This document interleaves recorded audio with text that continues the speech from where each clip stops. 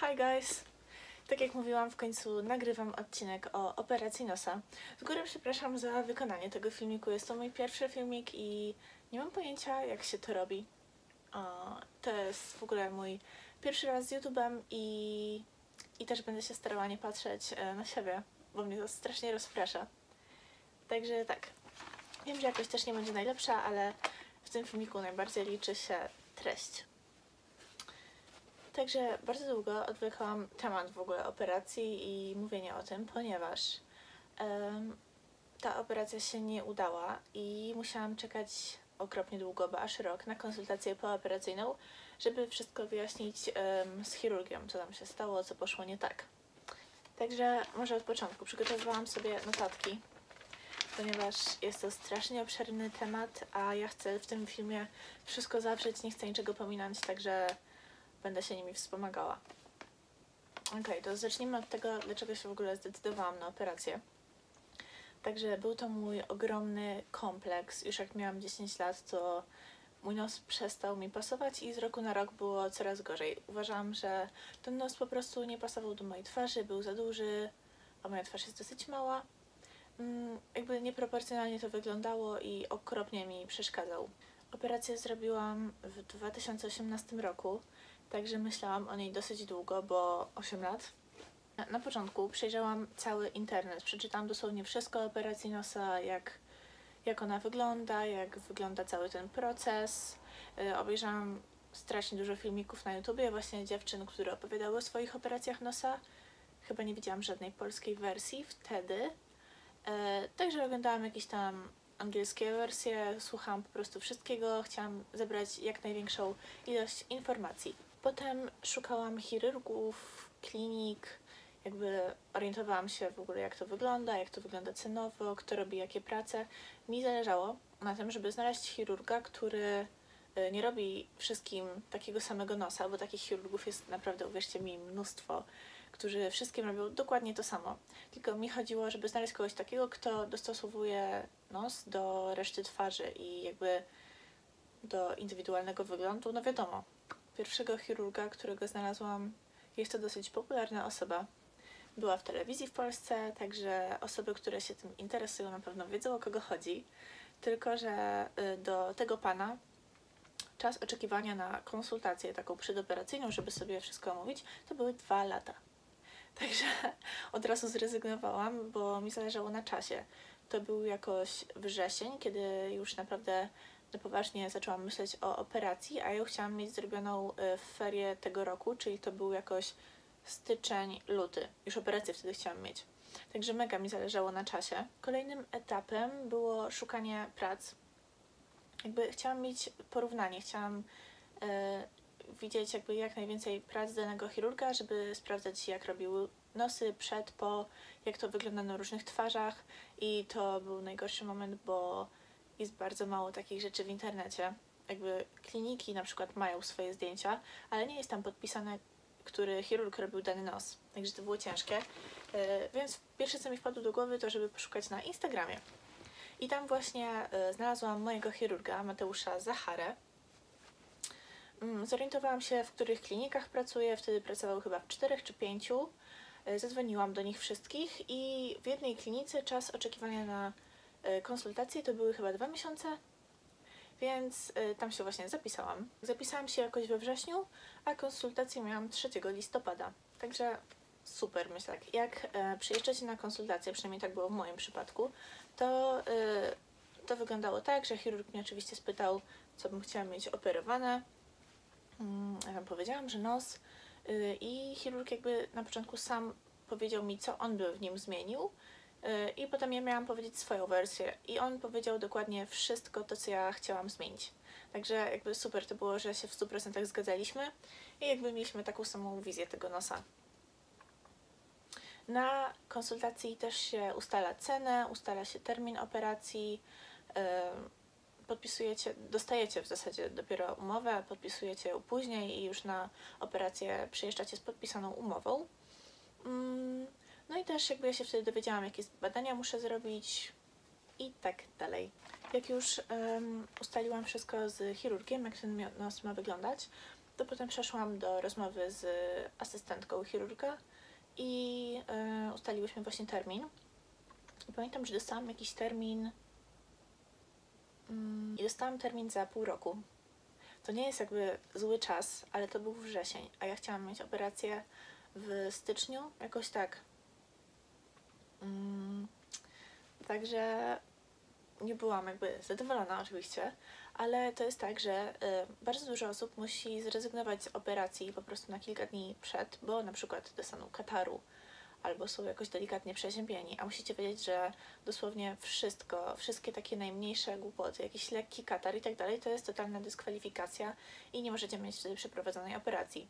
Także naprawdę dużo operacji się nie odbywa i mm, teoretycznie jest taka lista rezerwowa, e, ale wiadomo, każdy by chciał być na tej liście rezerwowej, a z uwagi na to, że ja właśnie miałam maturę w tym roku, zależało mi na tym, żeby nie opuszczać szkoły, żeby przejść jakby ten okres po operacji w ferie, żeby po prostu nie tracić lekcji, to jakby trochę inaczej na mnie patrzyli i oczywiście byłam pierwsza w kolejce.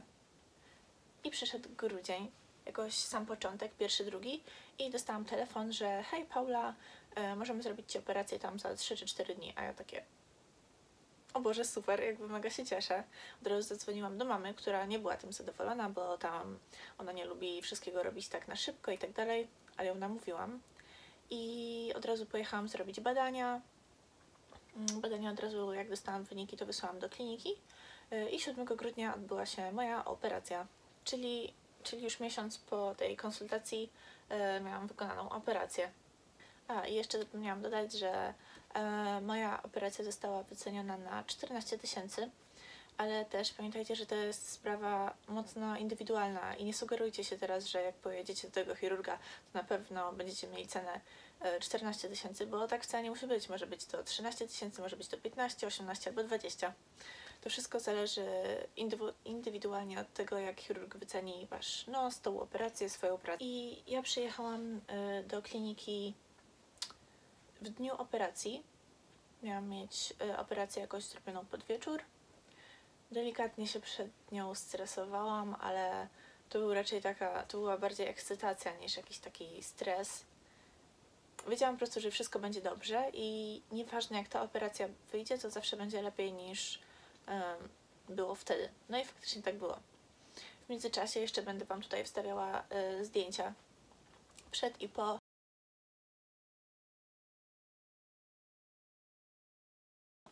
Bo jednak zdecydowałam się Wam to pokazać sama. mm, Jak byłam przed operacją, to właśnie to najbardziej chciałam oglądać, najbardziej chciałam oglądać efekty, jakby te przemiany, także rozumiem Was.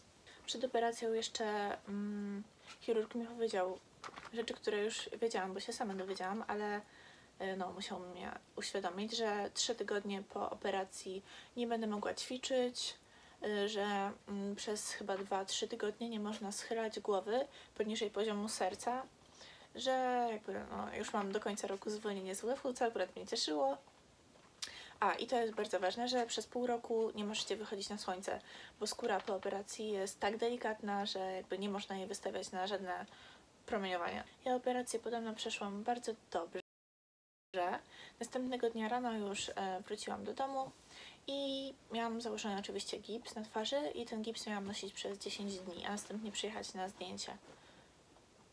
Mm, Przez pierwsze dwa dni nie mogłam sama chodzić. Ktoś mnie musiał prowadzić do łazienki. Jakby to było takie dosyć ciężkie. W ogóle pierwszy, pierwsze pięć dni powiedzmy jest tak, że nie dacie rady bez y, kogoś, kto się będzie wami opiekował. Po prostu się nie da. Nie jesteście w stanie sami gdzieś pójść, sami sobie zrobić jedzenia i tak dalej. Prostu ja przez pierwsze chyba tam 4-5 dni cały czas leżałam w łóżku, w ogóle nie podnosiłam się. Po tygodniu byłam już e, zupełnie w pełni sprawna, chyba nawet prowadziłam samochód. Tak. I to jest też ważna sprawa, bo zadajecie mi okropnie dużo pytań o to, e, jaki, jaki jest ból po tej operacji, jak ja to zniosłam i tak dalej. To musicie wiedzieć, że to jest totalnie bezbolesna operacja. Po prostu macie, e, nie, nie macie czucia w nosie. I tyle, więc was totalnie nic nie boli. Jedyne takie nieprzyjemne momenty to było to było wyjmowanie rurek z nosa i wyjmowanie szwów, ale to są sekundy. A poza tym dosłownie nic mnie nie bolało i wszystko było w porządku. Na początku też przez te 4 dni było tak, że oddychanie przez nos, ja musiałam to robić, żeby jak najszybciej wrócić do oddychania przez nos, a nie oddychać ustami. I to było nieprzyjemne, bo jakby skóra w nosie była, wiadomo, cała taka świeża, powiedzmy.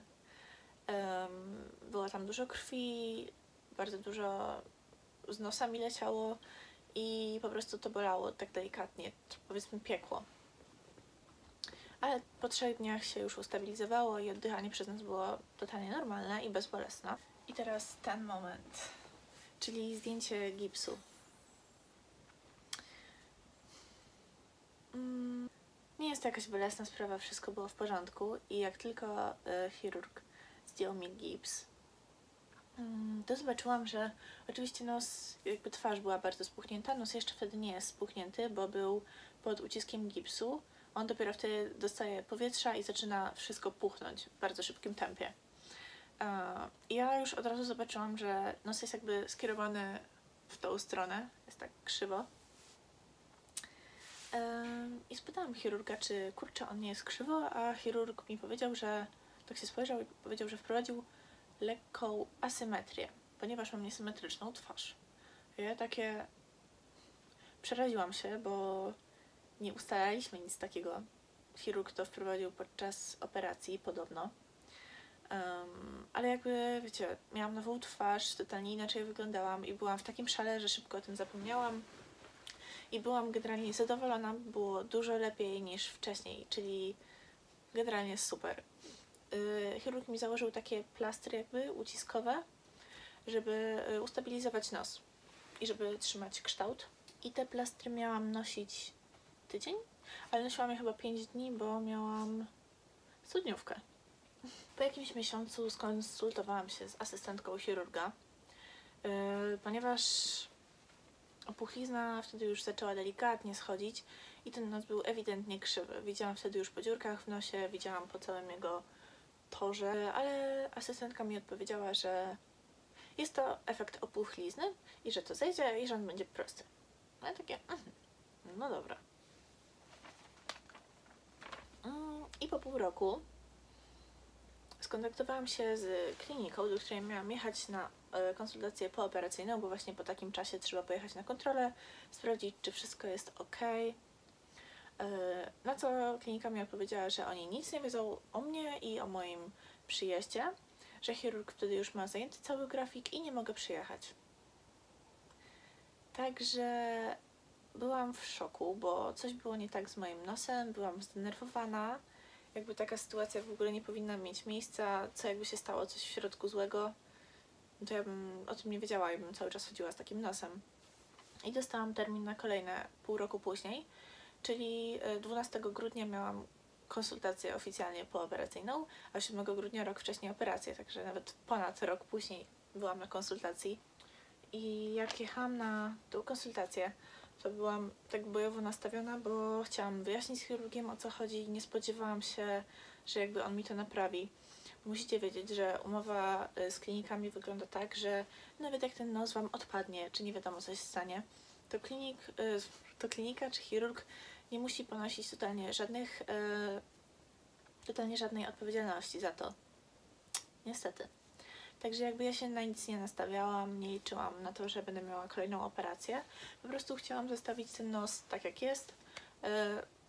No i tyle. Swoje jakby już przepłakałam, bo jakby wiecie, jak płacicie za coś tyle pieniędzy, to no jakby spodziewacie się, że będzie lepiej, ale ja się totalnie nie spodziewałam, że takie coś się może zadziać. Mm, I tak, przyjechałam na tą konsultację i pierwsze co y, powiedział chirurg, jak tylko weszłam, to o Boże. A ja takie, mhm. Mm yeah, what the fuck. I e, chirurg kazał mi usiąść, obejrzał nas, powiedział, że ewidentnie jest coś nie tak i od razu powiedział, że on chce to naprawić. I ja po prostu jakby coś mnie uderzyło, jakby byłam w takim szoku, bo zupełnie się na to nie nastawiałam i byłam mega szczęśliwa, od razu powiedziałam, że pewnie, że zgadzam się i chirurg znalazł zdjęcia nosa w aparacie, bezpośrednio po operacji, jak jeszcze byłam na stole i ten nos był idealnie prosty. Także to nie była wina chirurga. Po prostu chyba gips musiał być źle założony, krzywo i taki miękki nos po operacji skrzywił i nos został w takim kształcie, w jakim był gips założony.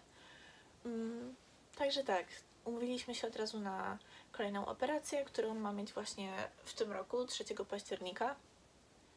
Czyli będzie tego wszystkiego druga część.